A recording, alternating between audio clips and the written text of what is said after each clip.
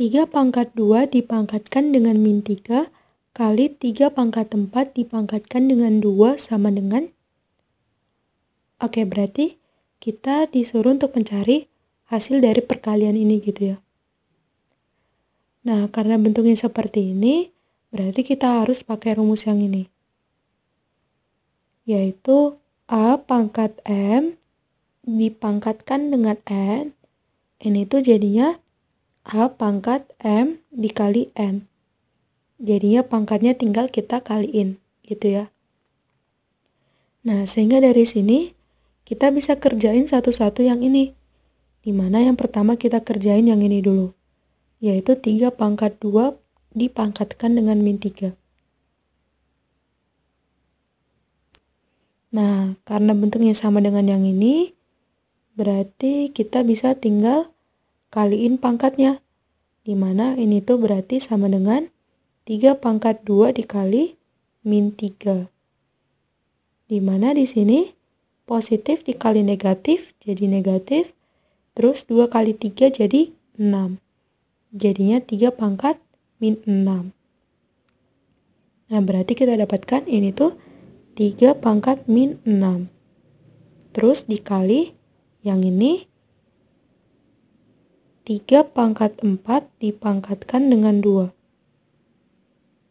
Oke, karena bentuknya sama juga dengan yang ini, berarti pangkatnya tinggal kita kaliin.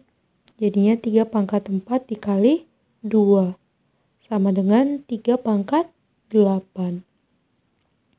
Nah, berarti kita dapatkan 3 pangkat 8.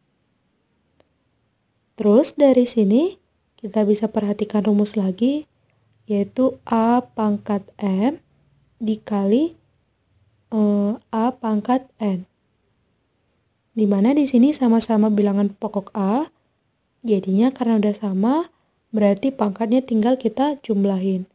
Jadinya sama dengan A pangkat M tambah N. Nah, sehingga dari sini kita bisa dapatkan yang ini, di mana di sini sama-sama bilangan pokok 3.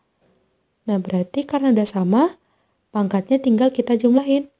Jadinya 3 pangkat min 6 tambah 8.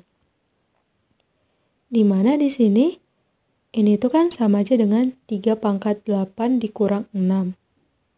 Jadinya kita dapatkan 3 pangkat 8 kurang 6 itu 2. Jadinya 3 pangkat 2 itu 9. Atau gini deh, 3 pangkat 2 itu Berarti kan sama aja dengan 3 kali 3. Nah, 3 kali 3 itu sama dengan 9.